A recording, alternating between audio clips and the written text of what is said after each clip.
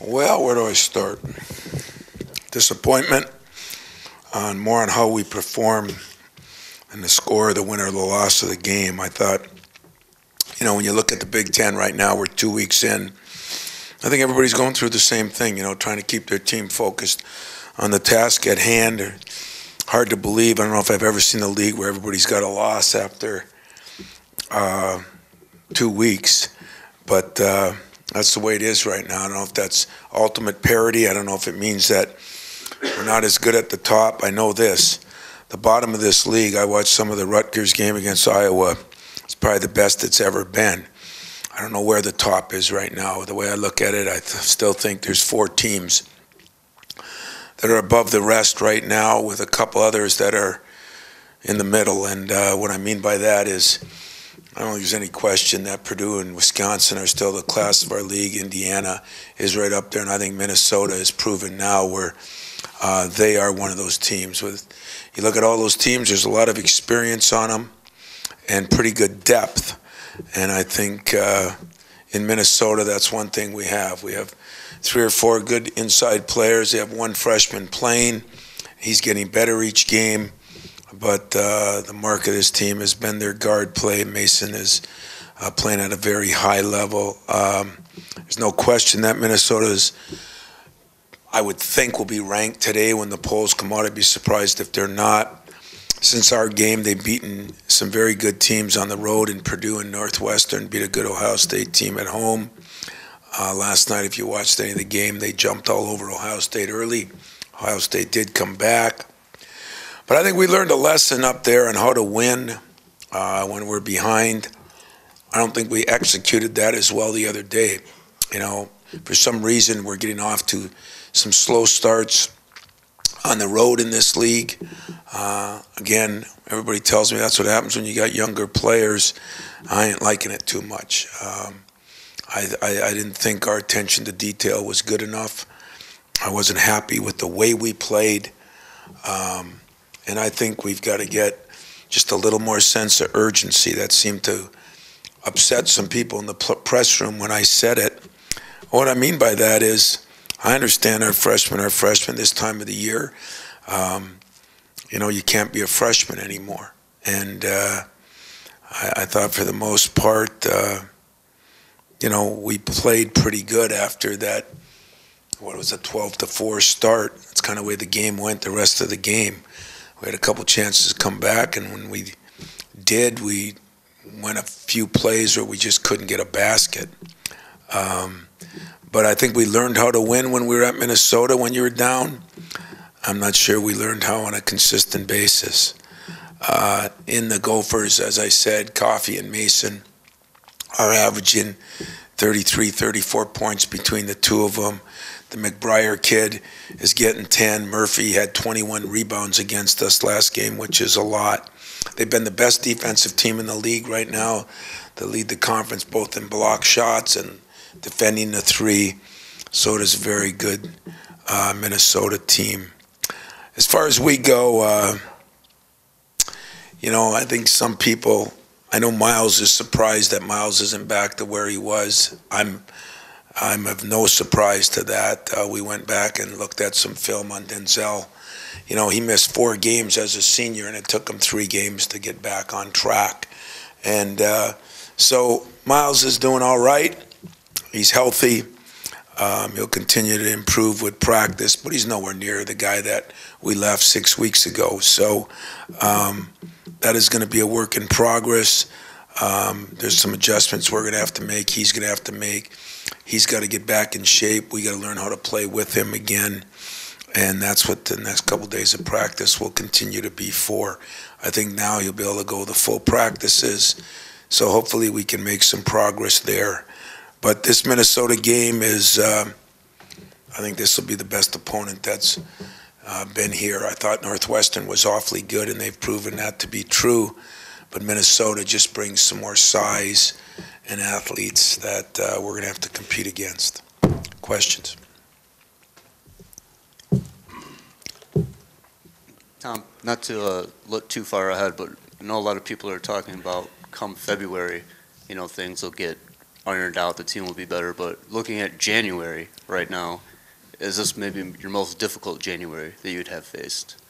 Yeah, I think so. You know, I think there's a lot of good teams out there, and I mean, we're just not where uh, you know we need to be. It's not of any major surprise. Um, it's hard enough to play freshmen, but it's even harder to try to work them in and out, especially when your best player is out. But uh, you know, it's been an interesting year for these guys, and every time we take two steps forward, we seem to take one step backwards, and I guess that too is uh, kind of the way it's going to be a little bit until we get a little more consistent. The, the surprising part for me is our defense has been decent. You know, if you look at statistically, we're not far off from where we were last year.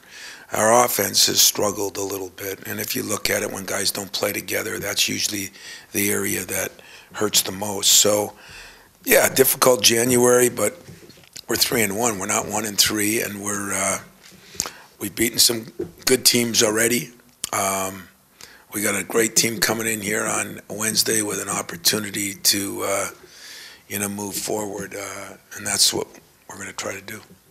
Tom, two questions. First, Nick Ward said in the locker room after the loss that he felt like the team had overlooked, not you guys, the players had made the mistake of overlooking it, and, and he was down on himself. He was not good about. I'm just curious, can that be something that comes maturation through a process like that? Well, I think the, anything these guys do, you know, when they when they get in a hotel room on the road, it's never the same hotel room. You know, when you're a freshman, everything's new. It's a lot of uncharted territory out there, and um, you know, we harp on things every day, but uh, you know, I, I heard Richard Pitino say it last night. He's just working every day to keep the noise away. You know, some of that is what people say, some of that is what people think. Um, players got to learn that they have to play every day. And this league right now, if you think about it, uh, I guess by far the worst team in the league has proven to be Rutgers so far. And I watched them coulda, shoulda beat Iowa yesterday. We don't even play them again. So there will not be a game on our schedule where anybody in their right minds is sitting home saying, well, they're going to win that game. You know, it's just the way it is. Part of it is our team, but part of it is the parity of the league. I don't, I don't think some of the teams that uh, Nebraska beat thought they were going to lose to Nebraska. I don't think Indiana thought they'd lose at home to Nebraska. Um, it is not. I think the road teams right now. I think it's 13 and 11. Um, you know, that doesn't happen in our league very often. Usually the road teams, it would be like 20 to 3 right now, uh, meaning home teams are winning. It's 13 11. Uh, there is more parity. Um, there is more uh, inconsistency with a lot of teams around the nation. When I write my book on Twitter and inconsistencies, they'll everybody will laugh. But uh, that is an issue right now where a lot of teams are struggling to stay focused in game after game after game. And uh, and our young team, I think you know we do that. I, I if if Nick took them for granted or somebody else did, I don't think they did in general. But did they put the same emphasis on that? And that's what happens when you've never gone through the league. And so uh, we'll keep harping on that, and I don't think we'll have to worry about it since Minnesota beat our brains in for three quarters of that game. Um, if somebody's thinking that this week, they're on dial a clue. Secondly, you mentioned Matt Van Dyke's play after the game specifically, but more holistically than just Saturday, your team has continued to mention him. And I asked Matt about it, and he said any day he gets to put that jersey on and play for a Hall of Fame coach – is a blessing, and that being here is the blessing, not the players. And I'm just curious, Matt, you talked about him when he first got here. You said, I know this is going to shock you. I think this guy can play. What is it about Matt Van Dyke? I wish I thought that way about the Hall of Fame coach. I look in the mirror. I don't even like the guy that I'm looking at right now. But uh, for Matt, um, you know, he, he gets it. I mean, he's he grew up a farmer, you know, and uh, which means he worked 15 hour days. Uh, his first year when he was here, he'd farm half the day and then drive here for play at night. Um, this summer he was going to work because it's a profession that he'll probably it's a big farm. He'll probably take over his father's business. And uh, um, very good student by the way too. So he knows how to work. And yet basketball meant enough to him. Him and his dad and i sat down worked out something where he could be here enough um, he's an undersized underskilled he's under everything except he's got a heart as big as this podium and he has you know, a very intelligent way of looking at things that's helped him. He gets along with everybody too. I mean, players love him because he does all the dirty work. And uh, you always need a guy like that on this team. And, and I think the first half I didn't play him much, and uh, we got to figure out a way to work him in a little bit more because he brings some things to this team that maybe this team lacks a little bit.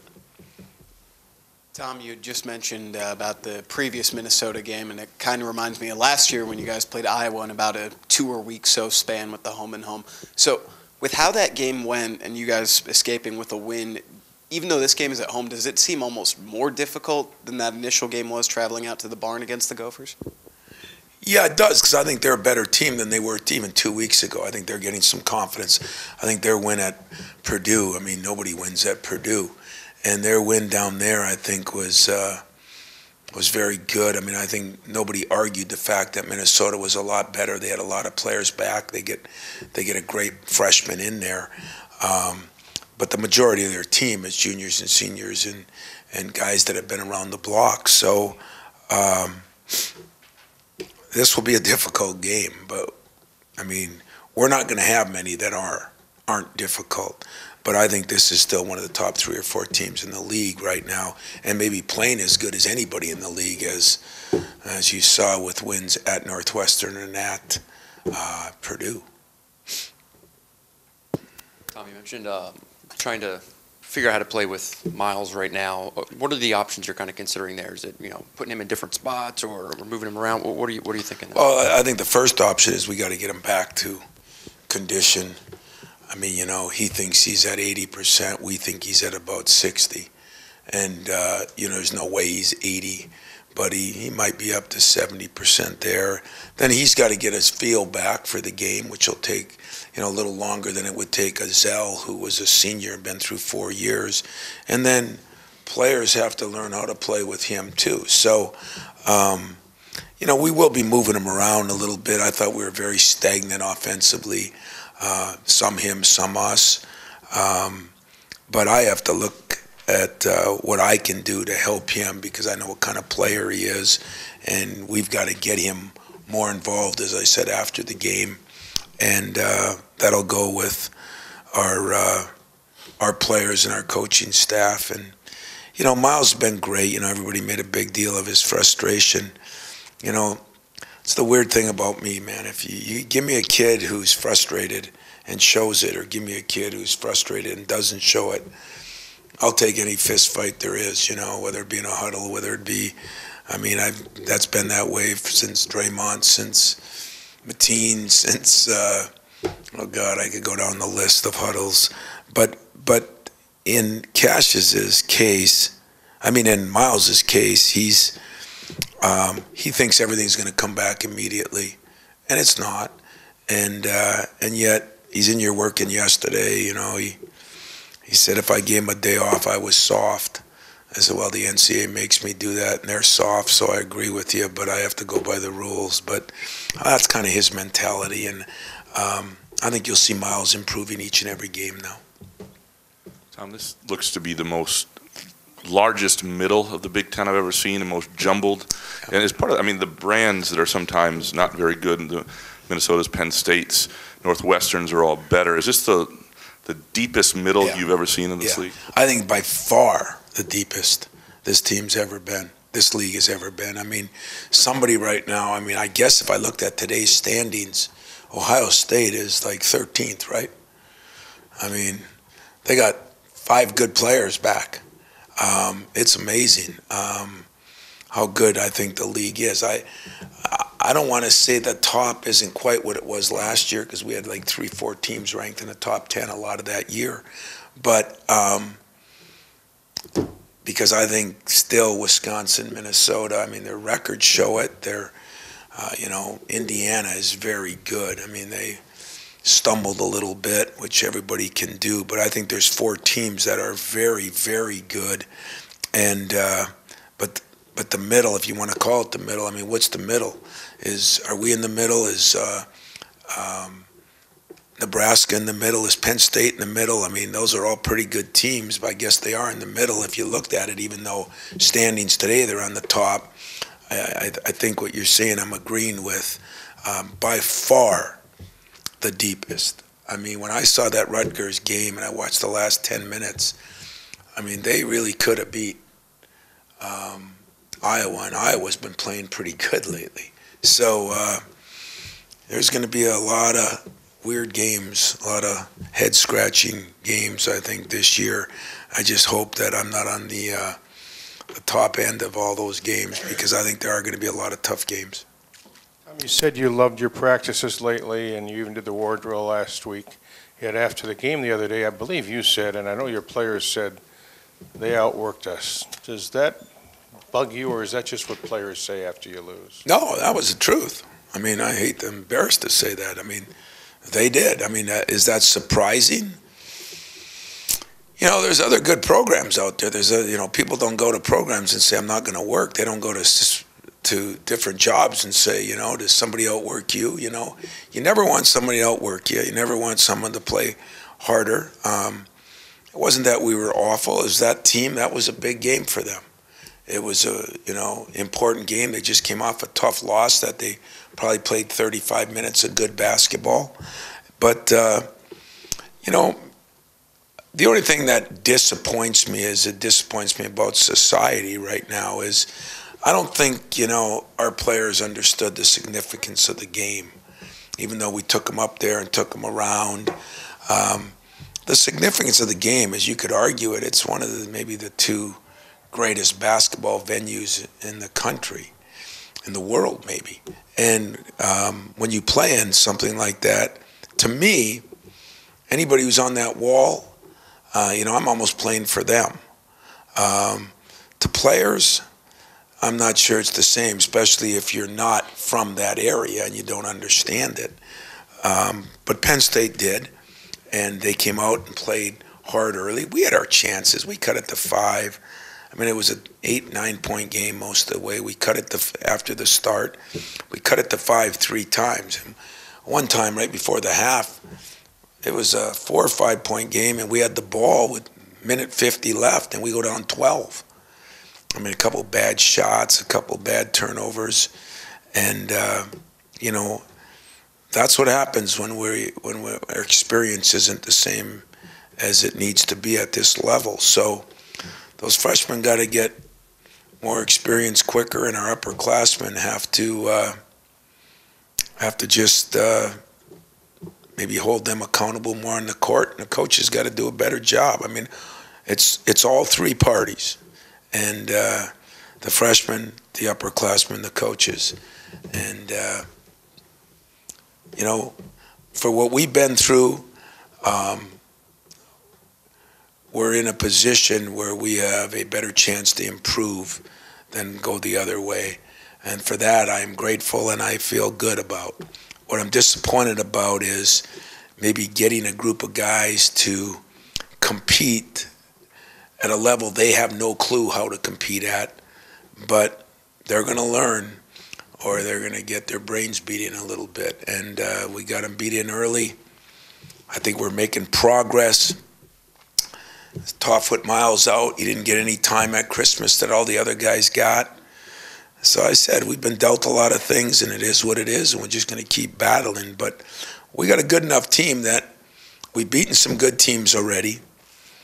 Um, Penn State is one of those teams that they're going to win a lot of games because they've got a couple of veterans, they got a couple of rookies, and they got a couple guys in between. And uh, I think their veterans are playing pretty good we got to get a little more out of ours. I just kind of dovetails into what I was going to ask you. I mean, I think the, the confrontation between Miles and Tum, I thought was said more about Tum maybe than than Miles. When, when you look at what Tum brings when he's on the court, especially on the offensive side when he plays like he did, um, how much different does he make that team when maybe he's in there either with or instead of Cassius? Well, it is kind of funny, you know. I guess Dakich made a big deal about it on TV. I mean, I don't know if he ever watches Michigan State. I mean, Walton would threaten, Cleaves would undress a guy on court. Um, Draymond was, you know, I mean, I'm like you. I was so excited for Tum that he went over and told him what he should have done. And when Miles saw it on film, he felt a little different. But those are those are the problems with having 13 cameras in an arena now, you know, or having all these frickin', you know, um, things going on. I mean, um, that is nothing like what happened in most of the games that I've been involved with here. And, uh, you know, Miles and Tum are probably the closest two guys on the team. So it, it just blows me away how, how people don't understand that. But I guess this day and age, you know, we, we blow things out of proportion so much. But I, I, I would agree with you. I was more excited because I told Tum, you know, he is one of the great leaders that I've had here. But yet he is such a good kid. You know, you can be too good of a kid sometimes. Uh, you know, that wasn't a problem for Cleaves and Walton and and, uh, and Draymond, and you know, it was a little bit of a problem for uh, Denzel at, at one point in time as junior year. He got his senior year where um, he did more coaching than I did sometimes. But I thought that Tum needed to take a step to hold the people accountable to how we need to play to win. And when he did that, um, our team will be a better team because of that if he can do that on a regular basis. And there's enough respect for him where if you ask Miles today at, after practice, you know, how he felt about it, I think he'd probably give you the same answer. Is it easier for him when he's playing offensively like that to Well, if he can play offensively like that, he has been more aggressive. And, uh, you know, it's something Cassius got to do more of. He's got to be more aggressive. You know, I got one that's not as skilled. I got one that's more aggressive, you know, and so there's a combination there. But uh, there's no question that Tum brought some energy and he did bring more offensively. I think the one area that we've not been as effective on lately is our break. You know, we're not scoring as much on our break. So, and sometimes that happens when you don't rebound quite as well. And these bigger teams who are playing without any size that we have, you know, that's been a problem. Uh, plus, I think we we wore Nick down a little bit. You know, Nick can play so many minutes. And one of my assistants today brought up, you know, in the NBA, and you guys know this, um, I've always kind of scripted my times. And this year, I I don't have a script. It's is he healthy? Okay, we'll play him. You know, is he okay? We'll play him. But um, we, you know, when we're playing Nick too many minutes in a stretch, uh, he still does some good things. I mean, Nick has still been the biggest surprise and most pleasant one as far as his rebounding. He's leading the conference in block shots, um, but he has so much more to give if we can get him continuing to get in better shape and then learn to play around him a little bit too. He's he's got some things he's got to do that I think Tum can help him with. So, you know, we're making some progress, guys. It just it's been slower than you'd like or I'd like. Off topic just a bit, I'm wondering how happy you are to see Susie back around and, and I guess, She's joining in with society there for a minute. I was a little scared. She's getting a little soft on me there for a minute, but uh, no, it's great. You know, it's um, I feel bad for her because she puts a lot into this job too. Um, and doesn't get maybe the same credit as Mark Dantonio or Tom Izzo do, but she works a ton of hours, man. I mean, she parks right next to me, and and uh, I think what it does is it teaches you that, you know, she's got on this workout kick. She's been working out for a couple months, like religiously. But as they say, you know, there's there's always uh, you got to have a a little bit of everything, and um, working out, you still got to eat right. You still got to get some sleep. She doesn't sleep much, I guess. She, uh, I don't think she eats real well because she's uh, Um, you know, stays thin as thin, and, and some of that's good and some of it's bad. But I think it was an eye-opening experience for her. Um, I think she's going to be 100% okay. But uh, anytime that happens, I think all of us kind of look and refocus. It's uh, it's like all the things, you know. You do what you can do to be um, as healthy as you can be, and sometimes, like with the Cancer Society, it's about awareness. It's about doing the things that you, give you a chance to have a chance to be, uh, you know, successful. And and uh, I think as she sat, sat back, and she came over to my office uh, a couple days later, and and I, after I kidded her about, you know, only being up three, and she goes down and they win by 20, that they're better without her. Um, I figured I had to be a human being and tell her that, um, you know, maybe she has to take a look, just like players do, like every one of us do. And and when she was trying to make excuses for what, you know, she was doing, I said, no, you know, you got to get more rest. You got to do this. You got to do that. And uh, I think she will. I, I, she's a hell of a coach, and uh, and a good person, and I think she'll uh, she'll recover fine. She's she's fine. She's just uh, I think a little run down. I think a lot of things. These jobs, uh, believe it or not, aren't as easy as you think. Um, although neither are yours. I think every everybody goes through things in their jobs, but uh, she takes things personal, takes them to heart, and when you do that, you don't let it go when you go home. And I think that's one of the hardest things to do. So maybe I'll learn a little something from her. Um, maybe. Tom, is- there an update on, on Gavin? Is there any hope of getting him back this year? You know, I told you we'd, we'd probably make a final update by the middle of the month, which unfortunately it's coming and it's looking slimmer. But um, uh, I will make sure by this weekend we really. Um, I have not met with the doctors on him. We've kind of gone in two, three week intervals. Um, he has not been able to do anything as far as running or anything. Um, he is doing more and more with the strength of that leg, but it's going to come down to now uh, is it fair for Gavin, you know? Uh, forget the program, is it fair for Gavin?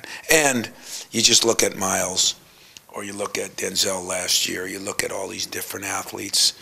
Um, that amount of time, how long would it take to come back?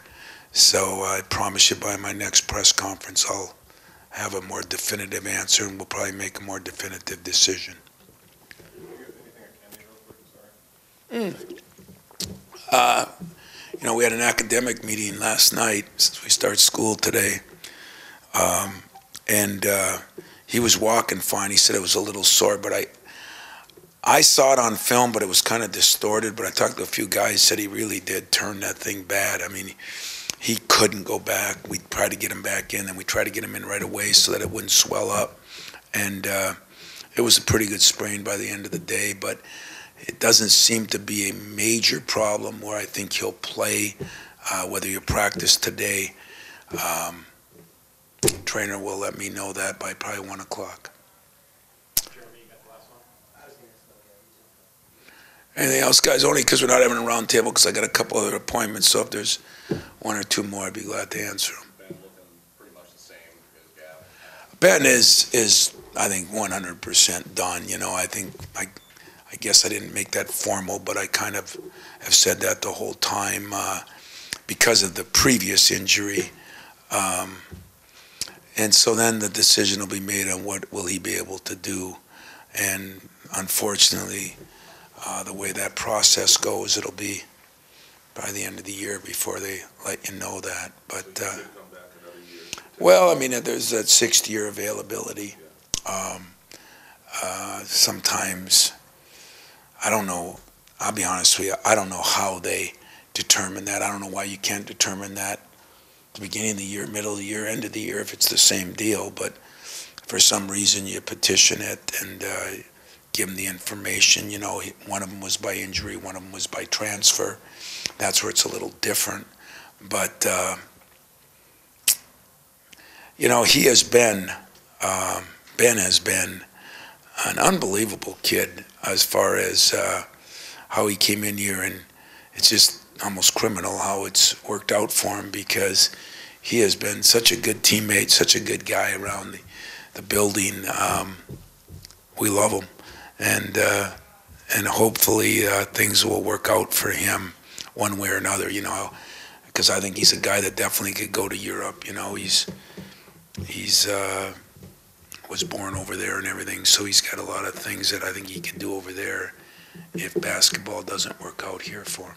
So just to clarify, you are exploring the, just the process of what it would Yeah, for a six-year yeah.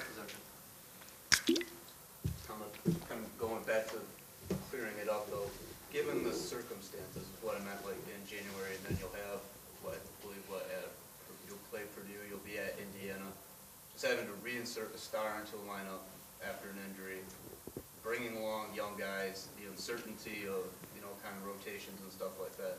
That's, that's where I was going with that. Is this, does that make for maybe the most challenging January? Yeah, I mean, I don't know about the schedule because the schedule is always tough. But what's what's really difficult is is that my staff said this today. You know, we think Nick has made great progress. Uh, Josh Langford has made some great progress over Christmas. You know, Christmas when you can have two a days, when you have no.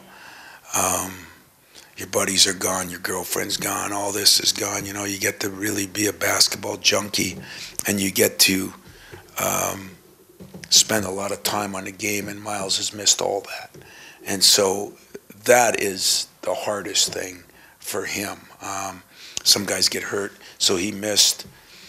If you think about what he missed, we were going through some stats today. He played in arguably our six toughest games.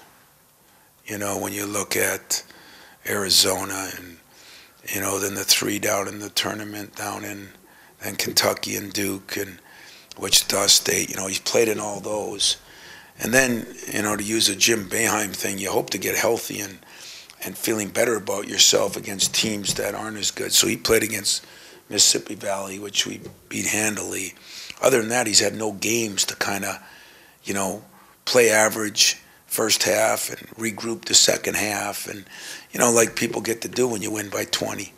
And uh, so Miles has had maybe the toughest of any freshman I've ever had here in that respect. And then, so he misses those.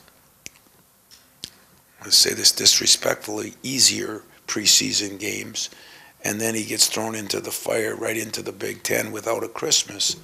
Um, God, that's hard. It's hard for him, but of all the people that I think can handle it, and I had a meeting with him this morning, I think he can handle it. But is it is it more difficult or most difficult? Well, it's more difficult, but I think every year it gets more difficult because all the noise we have to deal with. But I think it, it is one of the most difficult because of a player of that caliber and the other youth we have.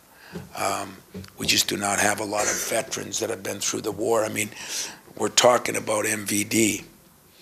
I mean, he's a lettuce farmer from uh, walk-on that didn't even play basketball for a couple years, and that guy's starting on a Big Ten team, which is, I'm not making fun of the lettuce. I happen to like lettuce, and uh, I'm going to eat a lot of it because it'll keep me cancer-free, right? Um, but I think it it uh, it kind of shows you what we've dealt with. You know, uh, we looked at Nick, and uh, we went through his stats, and I think he averaged like 15 minutes a game his first seven or eight games, and now he's averaging 25, 26 minutes a game. You know, we've been through the grind, and uh, and maybe Mike Garland said it best. We got pretty good at learning how to grind. You know, we're not always pretty. Uh, we're grinding it. And at, at Penn State, we didn't grind the same. And that's what we're disappointed in. And, and that's what young guys have to learn. That's what uh, inexperienced guys have to learn. And, and then we as coaches got to do a better job. You know, we got to we got to understand that too. And uh, patience is not one of my great virtues, and uh, I don't plan on it ever being. Just so everybody knows. But with that goes some difficulties too, because uh, you know there is a process to this whole thing, and uh, the process is how do you the, the key is how do you speed the process, staying in a realistic realm, and uh, that's what we're trying to do, and we're we're making progress. Uh, I don't know if we had a setback. I don't know where, you know, people will think Penn State because they came in what nine and seven or ten and seven, whatever they were, but their starter Reaves kid missed five games early. They lost two to teams that they would beat nine out of ten times. So if all of a sudden they're 12 and 5 coming in, we might look at them a little differently. But that is going to be a team. I don't know how many saw the Michigan game. You know, they, they had them down 14 in the sand. That is a good basketball team. Northwestern yesterday, I watched some of that game. That is a real good basketball team. Minnesota is a real, real good basketball team. Um, I kind of agree with what you guys said, which irks me to agree with you guys, but I, I think it is the deepest um, if you want to call it middle, I'm not sure what the middle is. It might be just the deepest right now that this league has ever been uh, since I've been here, and that's been a few years. So, yeah, we have, we have great coaches in the league right now, and I think they kept upgrading the coaches in this league. And uh, I, I, I have said that before. I, the guy at, at Rutgers, he's done a hell of a job there. Um, he's getting guys to do things that didn't do it at all that way last year. I mean, there are so many less bad shots and things that are going on, and um, I mean, I think they're getting better every day. I mean, he's a proven good coach, and he he is going to be a good coach in this league. And they're not young, but they got a lot of sophomores and juniors. And uh, by next year, that'll be a very good basketball team. And I think still this year, I promise you, they're going to beat some decent teams. Um, they did that on the road yesterday, so uh, it's a pretty good basketball team.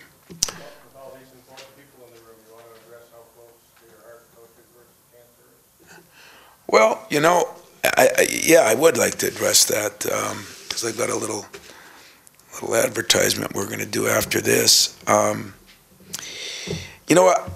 I don't do everything right. You know, like I never smoked a cigarette in my life because I feared it, and yet I never eat as healthy as I should because sometimes I don't understand it. And I think more than anything, I think that's what we're all trying to do is just bring more awareness to what is right and what is wrong and what can give you the best chance to be successful. Unfortunately, um, you know, there's the guy that works out every day that dies at 50 from a heart attack. You know, it happens. Um, we're not stopping all those things. We're, we're giving us the best chance, just like we do with players. We're giving each person the best chance to live a healthy life. And um, we all, and this is the one part that I've learned in this, um, we all take for granted what we do. You know, I mean, uh, yesterday I didn't like my job. I didn't like it one bit. And really, what I was doing is taking for granted what I what I do because I love my job. It's just that there's moments, and I think we take for granted our health, and uh, until it hits home. I've been one of those fortunate guys so far that it hasn't hit home very often. And when it hits home, it's too late, is the problem. And, you know, I'm, I, I spend a lot of time telling a player, you know, it's okay if we, we make this gradual. You know, you can become a freshman, then a sophomore, then a junior, and a senior. But you got a four year window. And in that four year window, there's not a lot of margin for error. Well, for our lives, it's kind of similar. You know, we can't just fix things uh, the senior year when something has happened. I mean, there is preventative management to all this and how you work out, how you eat, how you take care of yourself, the preventative things, the early diagnosis, all those things are really simple compared to what you have to deal with in the end. And so uh, I'm just proud to be a part of it, a very, very minimal part of it And when you look at the big picture. But when you do get to go places, um, and see things. I went out to the East Coast this year to do a, a big deal for a couple coaches out there, and it was so impressive. And if you want to do something real impressive, and I'm sure there's some in this room, but talk to people that have been through it, and you have a better appreciation. And you kind of scratch your head sometimes, and why wouldn't I do a better job of getting some rest? Why wouldn't I do a better job of this? Why wouldn't I do a better job of that? And so, if I can be, um, have a little bit of a podium to talk, as you've granted me today, um, I would just say that uh, this is a fight that I just can't think of one that's bigger. You know, um, And it's a fight that we can almost win. Kansas Well- well. I, I was going to say, you know, I, I continue to watch the Jimmy V um, deal, and when he said it might not save me, but it might save my kids, and you know, his daughter um, had breast cancer, I believe it was, and when I look, the only negative thing that I think we're doing, I don't know if it's us as a group, I don't know if it's us as society. I don't think we're appreciating the success we've had. I don't think we're we're pounding our chests on what's been accomplished. I mean, there's a lot of cancers right now that you have, and forgive me for saying it this way, but the UP and me, I mean, we just blow it off because ah, we'll get we'll get by that because there's so many that are curable now. Where if this happened 25 years ago, we were just counting the days. I mean, we made so much progress. It's incredible what they've accomplished. And unfortunately, unfortunately, um, it is about the dollars. You know, you got to raise money to do that part of it. But the neat thing about, I think, the American Cancer Society and what they're about awareness that doesn't cost anything. So we've got two battles here one to be more aware and one to keep raising money. And sometimes awareness helps you raise money. So it goes hand in hand. And, and that's what, you know, I appreciate just because, you know, I had my mother in law at the very end a little bit, but I can look at my family and I haven't had a lot of things that have happened. In that respect, now I can look at one of my good friends, Flip Saunders, and I, I look at it a little differently. But I think if I could say one thing, don't wait until it hits home. Because when it hits home, we probably waited too long. Let's, let's be on the preventative side. Let's try to do what we can do to not only help ourselves and what we do and what we eat and what we drink and how we rest and how we handle our life, but from a financial side, let's give because we're really giving to ourselves. Because if we cure it, um, like I guess before my era, it was polio or, or uh, what was the the big one when I, uh, huh? Tuberculosis. I mean, those things are like a cold now.